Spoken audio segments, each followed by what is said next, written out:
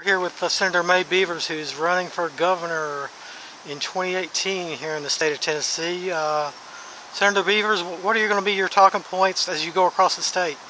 Well, first of all, um, for I will try to repeal the unnecessary gas tax that was passed this last year. We had a huge surplus. I didn't feel like we needed it. Uh, we were already going to repeal or phase out the hall income tax, and I just felt like, uh, you know, it, it wasn't a fair trade.